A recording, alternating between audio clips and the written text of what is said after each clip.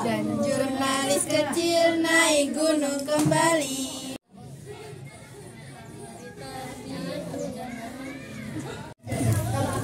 Lalu hujan turun, jurnalis jatuh.